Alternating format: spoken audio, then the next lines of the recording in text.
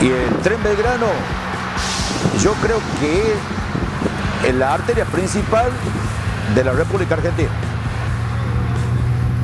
Antes, este, con la vía anterior, teníamos este, los problemas con los descarrilos permanentes y ahora este, con esta nueva vía ya no tenemos ese problema.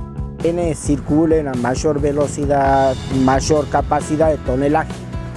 Esto de mucha tecnología, es un ferrocarril del primer mundo, eh, tanto en seguridad, en comodidad para el personal. Se van a mover los cereales que al pueblo lo hace muy bien, porque es un lugar eh, de muchos cereales. El Belgrano confirmó de que las vías ya están y de hecho nosotros ahora vamos a hacer el primer cargo de la planta. Tengo un hermano ahí trabajando, gana bien, por lo menos va de a poco construyendo su casa. Bueno, eh, justamente tenemos más clientes, eh, estamos más contentos, nos vemos mejor, así que bueno, estamos esperanzados.